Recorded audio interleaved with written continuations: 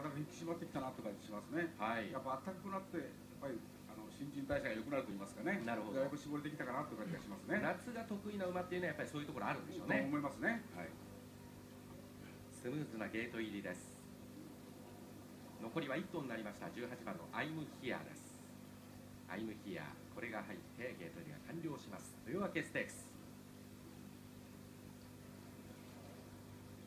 スタートしましたほぼ揃いました。大きな出負けありません。外から18番アイムヒア好スタート。そのまま前行くでしょうか。中からマルタカシクレノン出てきました。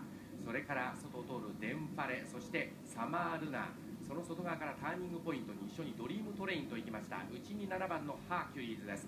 その横11番のデンファレです。これからは2馬身ぐらい切れました。2番のビキニブロンド外側に人気馬のトーセンソレイユとそれからロードガルーダ並んでいます。その直後緑の帽子です。プリムラ・ブルガリス昨年の覇者。内には1番のノーブルコロネット並んでいる黒い帽子マイネル・アダマス。外からは10番のサニーヘイローそして16番のダノン・イスラー固まっています。後方2頭は14番のトゥザ・サミット。これから2馬身差。6番のアグネス・ウィッシュが最後方です。34コーナー中間地点600を今通過していきました。前は18番アイムヒアもうほとんどリードがなくなってマルタカシクレノン外側から17番のドリームトレイン差を詰めてそしてサマールナがやってきました。4コーナーカーブ直線400を通過してさあ坂を駆け上がってきます。